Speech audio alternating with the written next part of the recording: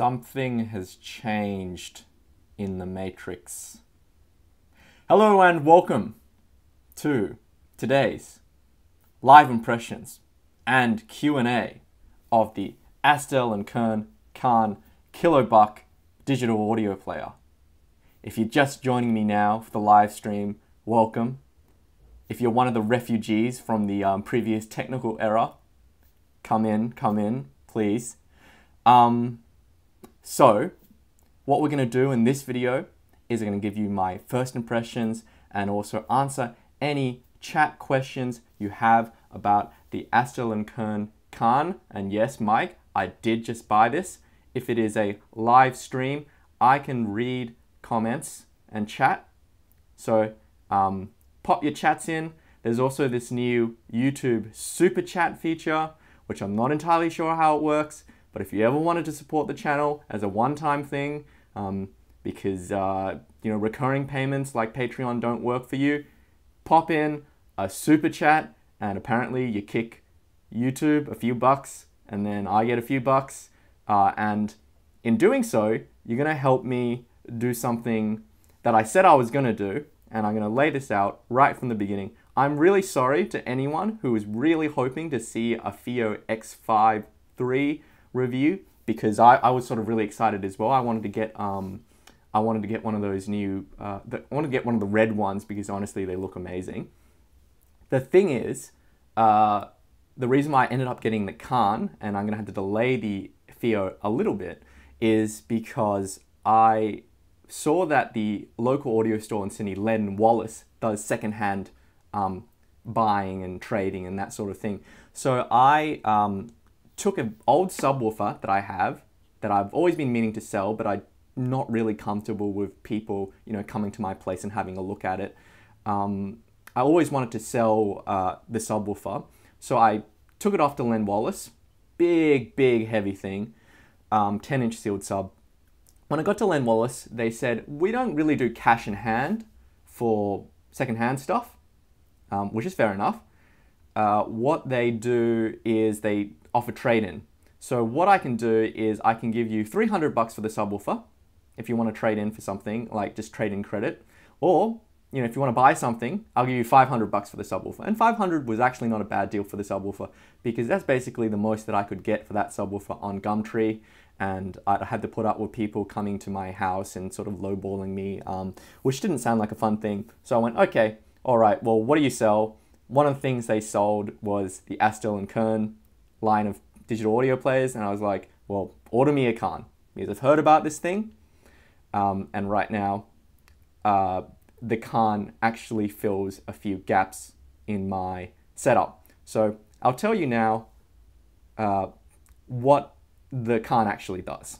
So this is a $1,000 audio player, which seems insane. To me, it seems insane. If you had told me, like, um, you know, a year or two ago that you're going to buy a $1,000 audio player, or $864 after trading, I should say, um, I would say you're joking.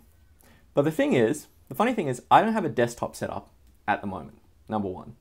I go between two computers, um, so I kind of don't have a desktop setup for either of those computers. Um, no, no real audio output apart from the inbuilt outputs. So what it is with the with the Kann is that it's an audio player, number one. It's also a DAC slash amp. You can connect it to your computer and use it as an external DAC slash amp. Number three, it's really, really high output power. So on the balanced outputs, I think you can put out 8 volts. I've heard reports of people driving Sennheiser HD800s off it. Um, I can confirm that even on the unbalanced output, which actually is that one, sorry, the unbalanced, the balanced output is this one, I can confirm that it will drive my 470 ohm um, R70X out of the unbalanced output, no problem, right up to an excruciating volume.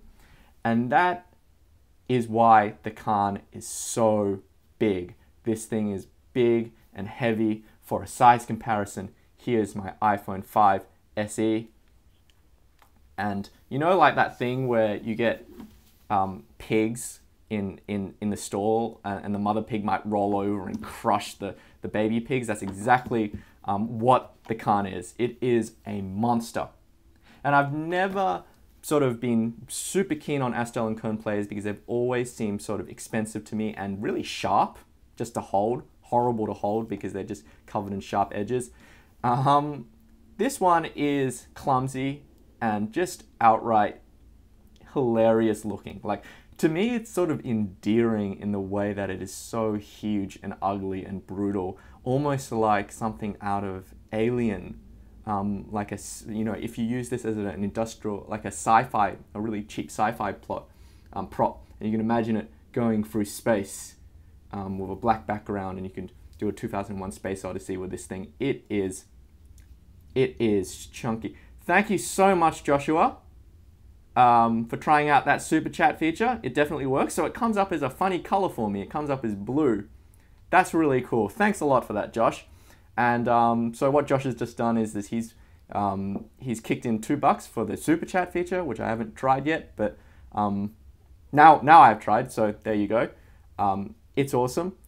Uh, so basically, if you ever want to support the channel, you can pop in um, a super chat. I'll be able to see your message in in a bright color and also you help support the channel. So that's going to help me um, get the FiiO X5 to compare with this, which I'm sort of excited about. So um, yeah, so I'm going to be able to feed the Stax amplifier with this as a DAC.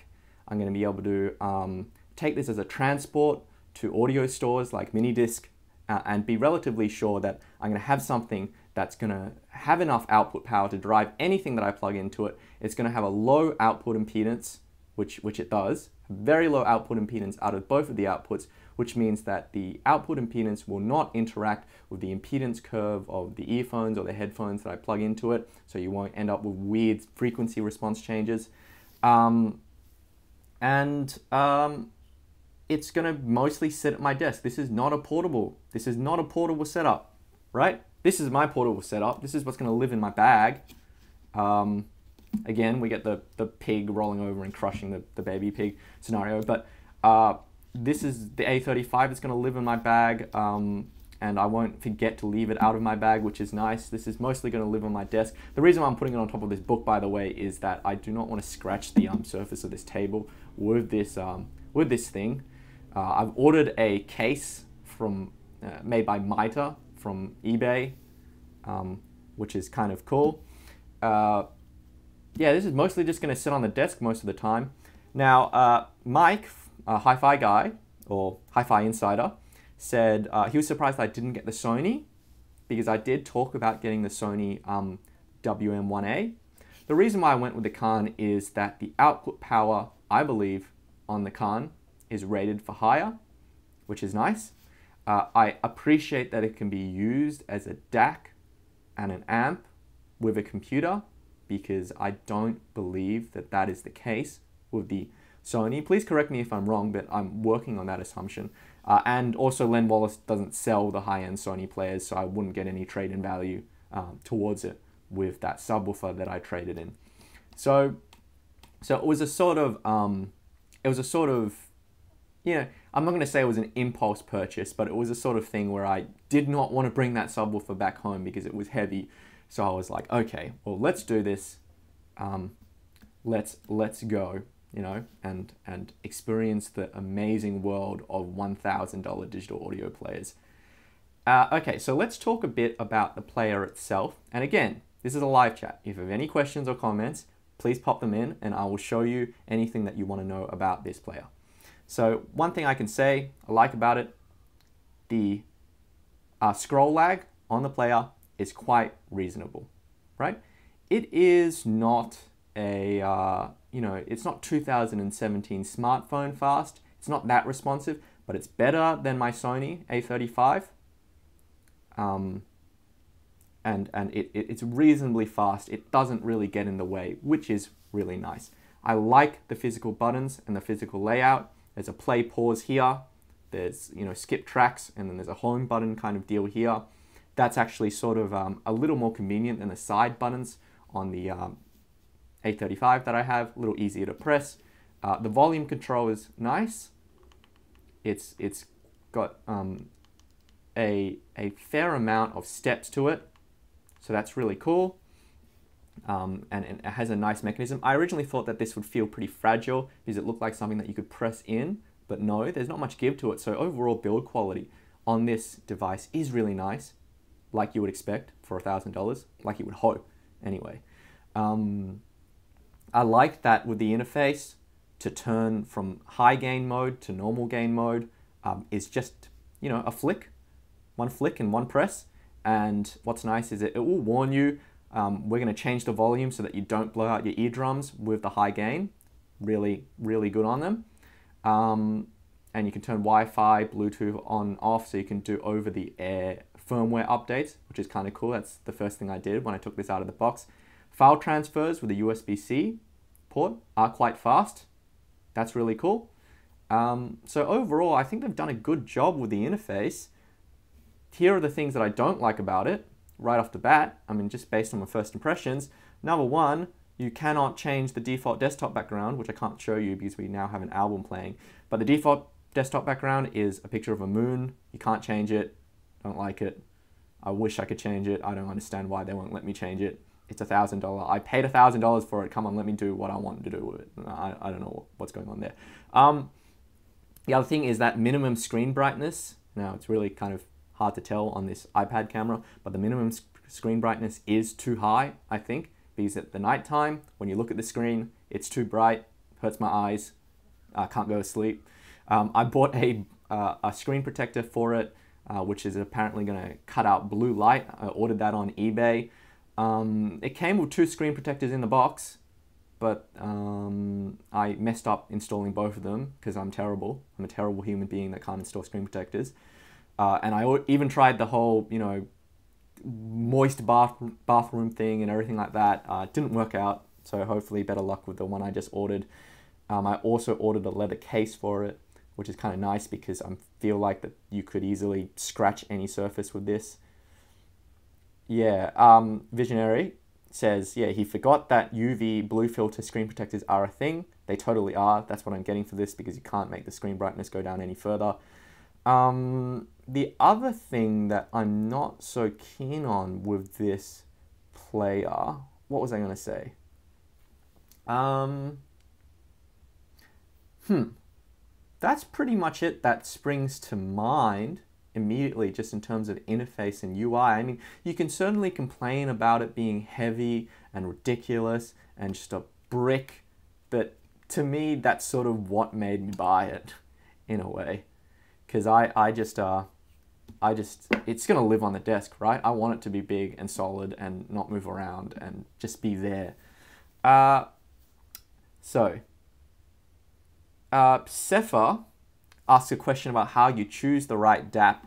Honestly, and I'll move on to the sound of this, I, I'm not the best person to ask when it comes to um, amplifiers or DAPs, and that's why I very rarely review them on my channel because honestly, I read um, DAP reviews and people talk about these amazing differences that they hear between DAPs and when I take them home and I try it and I think I hear a difference and then I plug them into an input switcher and switch between the two, I most of the times do not hear much of a difference at all.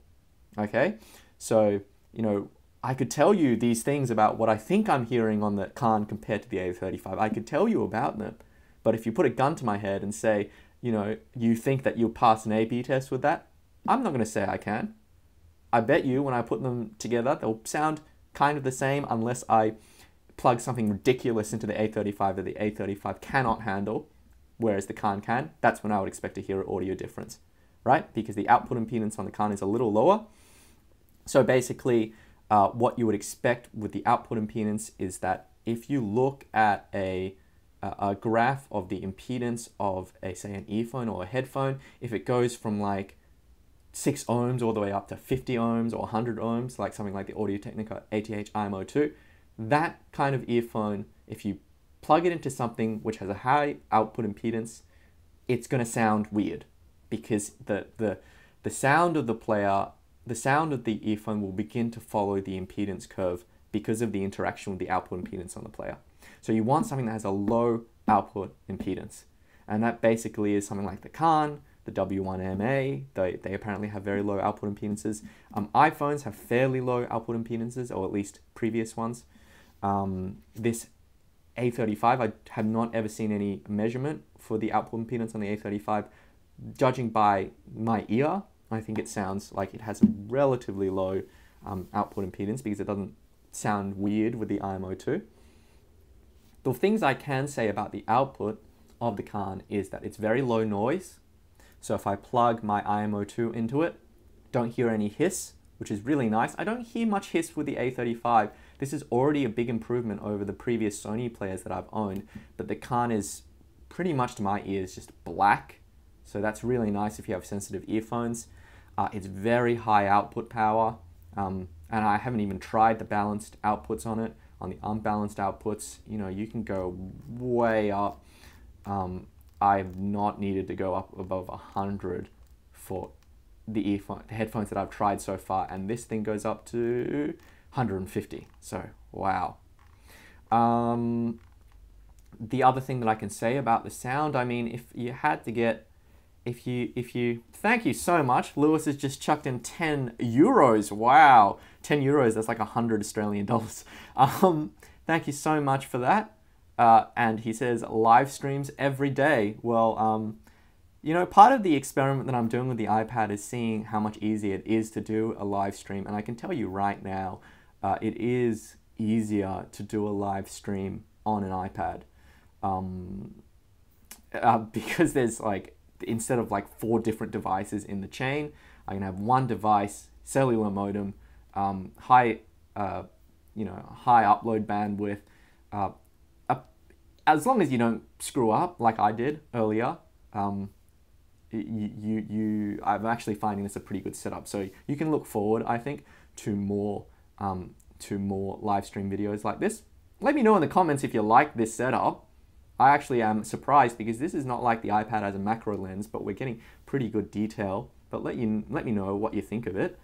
Um, what I would say, yeah, is is in, in terms of sound, I feel like maybe the sound stage is a little wider than it is on the A35, which is nice, and the bass feels a little more solid.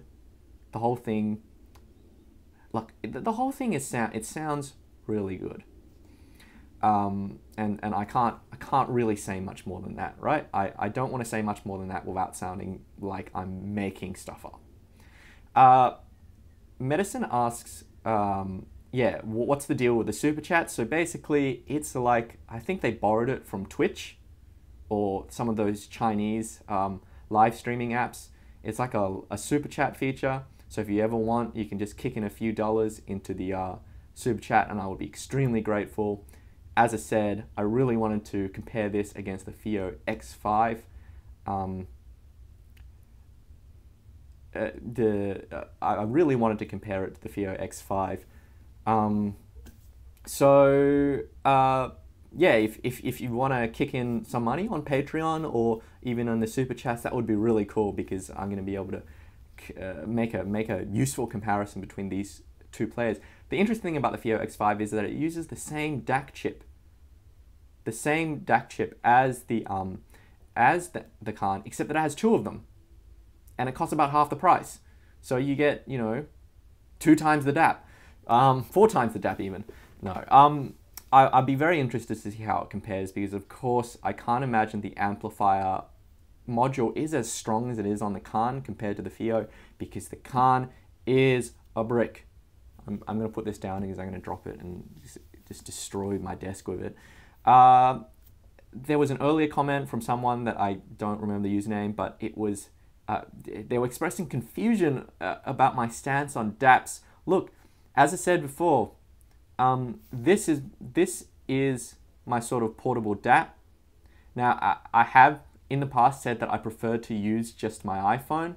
The thing is, as iPhones have kind of as my iPhone has sort of changed in terms of like the Apple Music stuff and and what I'm doing on it. I'm finding that my iPhone as a DAP is sort of frustrating because when I'm playing music and I'm looking, browsing on the internet, uh, some website will decide to autoplay and then just take over the audio channel, even if there's no video playing and then the music stops. It's very frustrating. So something tiny like this Sony, I don't mind getting um, because it just fits in the pocket um, and I can have my music on there and be pretty happy with that, right? This Kann, the Kann to me, I'm not treating this really as a portable player. I do not expect to put this in my pocket. I do not have any pockets that can accommodate this, except for some of my pajama pockets or sweatpant pockets. Uh, this thing is a monster. It's mostly going to live at home, mostly going to live on the desk. I'm going to bring it out occasionally when I know that I'm going to have to do some critical listening. Maybe if I take it to Minidisc or to some other audio store, that's when um, I want to go with the Kann.